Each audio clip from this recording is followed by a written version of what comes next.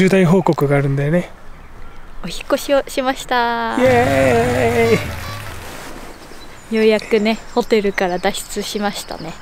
ちゃんと賃貸に住めるようになりました。うん。なんだかんだこの3ヶ月半ぐらいか。うん。で3つの住居形態今ちょっと寒すぎて手袋をまたしてるけど。3つ。3つ。3つの居住形態うん。を経験してるんだよね。うん。Airbnb とうん。えっとホテルとうん。で今ようやく賃貸の家。に住めるようになりましたと。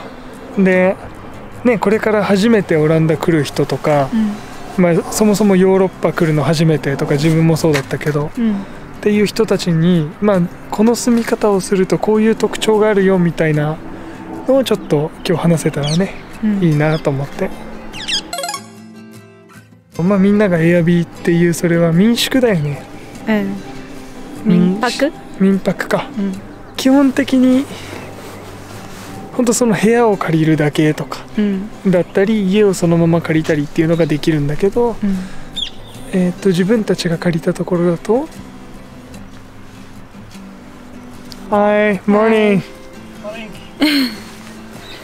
oh, it's running really fast. Hey, morning.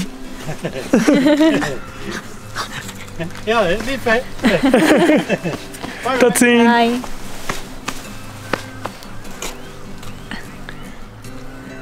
公園だからね。エアビーで、まあ、デンハーグの近所で住んだんでね。うんで、エアビーがいいなって思うのは、シンプルに、あの、Airbnb っていうサイトから、まあその、このエリアに住みたいだとか、期間とかを入れれば、もうその、サイトからそのまま予約ができちゃうっうんていう手軽さが一番でかいかな。私短期間でも長期間でもうん。あの宿泊期間を柔軟に変更できるそうだね。そこがメリットかな。うん。はい、morning. はい。まあ、シンプルに Airb 借りたことない人がいるとしたらうん、Airb が他のホテルとかと決定的に違うのは間借りさせてもらうっうん。ていうスタンスだからでオランダの場合は例えばね 3LDK っていう物件だとしたらリビングダイニングキッチンが共有する形になってその3部屋を全く別々の個人が借りてるケースがうん。ある。うんでいざ部屋に行ってみたらうん。他の部屋には全然知らない人たちが住んでたんだよね。うん。だし部屋に鍵がなかったからうん。毎回パソコンとかを置いてくのにうん。スーツケースの中に入れてロックかけてとかをやんなきゃいけなかったしっていうのはちょっと面倒くさかったかな、うん。まあでもね全然知らない国の人と出会って話してとかが短期間でできるのはすごいメリットだしあとはホテルとかと違って普通の人の家を借りられる家の間借りができるから、正直人が集まる人気のエリアじゃないところでも物件が選べたりとか、うん。っていうのはメリットかな。そうだね。あとはキッチンがあったりうん。そのキッチンに必要なフライパンとかそういうのも全部借りられる。基本的には人のを借りられるから余計なコストがかからない。っうん。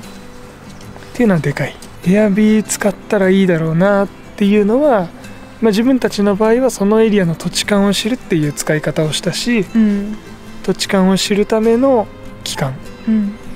あとは短期滞在とか中期滞在ぐらいまでなら良さそうだよね。なんか1ヶ月とか、で Airb だと週割とか月割でじゃ若干安くなったりするから長期で泊まるならそれはそれでお得になるし例えばとりあえず2週間借りてもう少し長くいたいってなった時にまあ後ろが空いてれば延長したりとかも直接オーナーとやり取りができるから使い方としては柔軟に使える。オーナーに聞いてみてどんな家なのかとか、うん。自分たちが借りる時に誰が住んでるのかっていうのを聞いてみるといいかもしれない。うん経験したのは長期滞在できるホテルだよね、うん。一番いいのは単純に毎月更新っていう形で住める。うん。だからいつからいつまで住みますの宣言は最初だけしておいて延長するなら延長してとかができたからうん。そこは手軽だったよね。うん。だホテルに滞在するっていう意味では日本もあんま変わんない。うん。だから自分の知ってるやり方で借りられてかつ部屋にちゃんとセキュリティがついててっていうの安心感を買うのであればホテルはすごくいい、うん。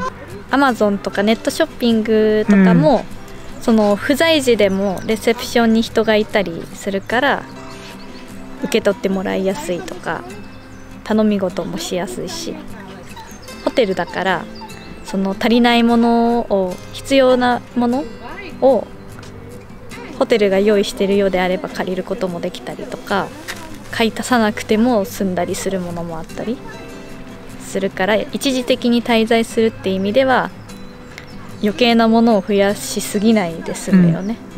だから住む期間によってまあもちろん金額は変わるしもしかすると Airb より少し高いかもしれないけど、まあ、ただ安心感が買えるね長期で住むなら賃貸のがコスパも良くなったりするケースはあるしうん。でオランダの場合はやっぱ探すのが難しいっていうのがすごく先行してるけどでも探せばねあることはあるしうん。賃貸に住めばまあね何が生活変わったってやっぱ部屋に炊飯器置けたりとか何より食事だね。そう食事面がものすごく向上する。うんであとは次に引っ越す前提で物を広げないようにしとこうとかうん。がなくなるから、うん。まあ、本当の意味で持ってきた荷物をフルで使えるしとか。うん、引っ越す前提だとできる限り物を増やさない方がいいなとか。あとは、まあ、ワーホリだったり海外移住とかで来る人にとってすごく重要なのはそのビザの申請に住所が使いやすかったりとかうんその引っ越さないっていう前提なのであれば、まあ、ビザ期間中に引っ越すとすごく面倒なことが起こるっていうのも自分たち経験してるしだから正式に使える住所ちゃんとした居住地として取れるのは住民登録にも便利だったり仕事探しにも有利だったりとか。でそのできるだけ早くした方がいい住民登録うん。を仕事がない状態でもできるっていうのはうん。やっぱりホテルとは価格線に違うところだよね。家探しが難しいっていうのはオランダね国の問題としてやっぱりあるみたいでだから現に家を見つけられなくてちゃんとした仕事を持ってる人たちとかね留学生とかがものすごくホテルにいっぱい住んでたからうんらそういう人たちがいるっていう状況を分かった上で、まあ、どんなとこに住めるのかなとかっていうのをうん。探すために Airb を使ったりとかホテルを使ったりとか、うん。まあ、それね旅行にも使えるし、うん。人それぞれだろうからうん、あくまで私たちの 意見ではあるけどまあいろいせっかくならいろんなところを経験してみるのはいい機会かもしれないしね。どうやって見つけたんだっけちなみに。オランダ掲示板っていうところで見つけました。なんかいろんな情報が集まってる中で例えばオーナーさんがこの部屋いくらで貸しますよって書いてあったり逆に借りたい人が部屋探してますっていうようなコメントをできるような掲示板になってるんだけどそこでたまたま見つけたんだよね条件がいいところを。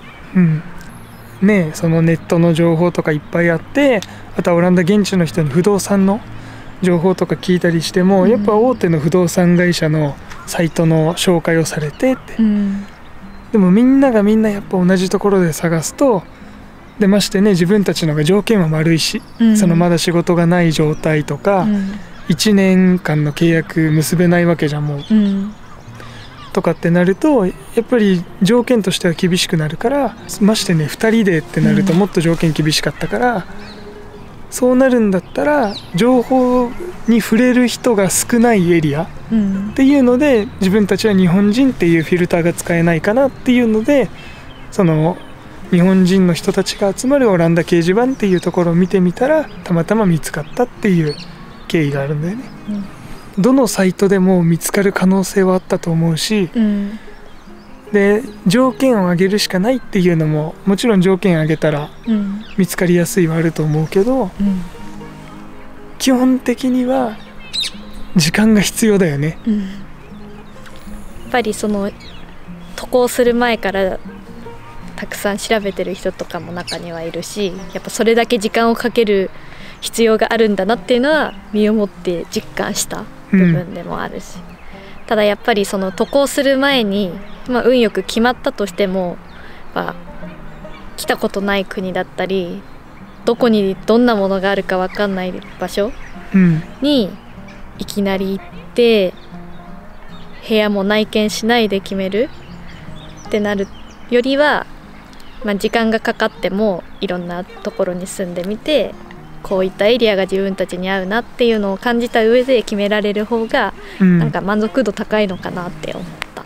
そうだね。だからもともとそのいろんなところをねトランプウォークやったりとか お出かけしたりってやってたのは、まあ、どのエリアだったら自分たちが住みやすいかなとか住みたいかなとかっていうのをなんか探せたらなっていうのでまあその記録もね映像に残ってたりするからもし、うん。このエリアってどんなとこなんだろうっていうのの参考程度に お出かけ動画とか見てもらえると街並みだったり雰囲気が、うん。ね、そんな上手に撮れてないけどでも参考にはねうん。なると思うし。うん。そんなところで非常に外が寒いので今日はここまでで勘弁してください。じゃあ拜拜。